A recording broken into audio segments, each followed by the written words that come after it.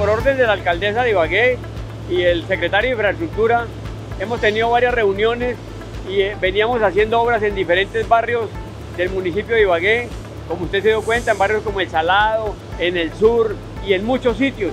Pero también eh, estábamos haciendo muchas rehabilitaciones y parcheos en diferentes vías.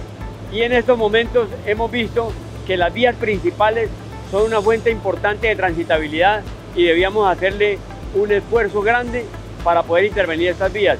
Fue así como iniciamos esta semana a trabajar la carrera cuarta desde la décima bajando hasta la 19 y de ahí hasta la, hasta la 21.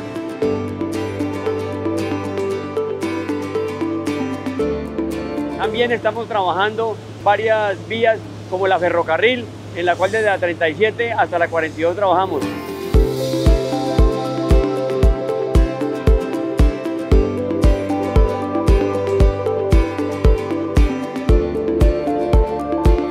Hoy estamos aquí trabajando en este punto muy importante, que es desde la glorieta del éxito hasta la campiña, y de ahí para arriba seguimos trabajando mañana, pasado mañana, a ver si el viernes nos le metemos a una vía muy importante que está también en mal estado, usted lo puede darse cuenta, que es la vía al éxito, que es la que comunica de macro al éxito.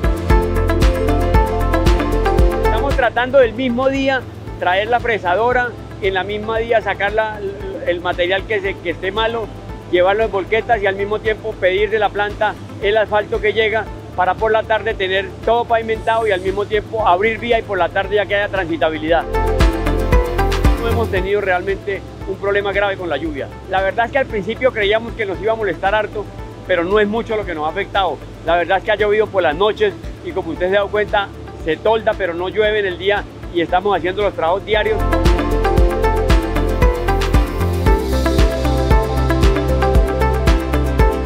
De las vías de Ibagué. Ibagué necesita una intervención integral muy grande, pero yo creo que en estos cuatro años se puede hacer.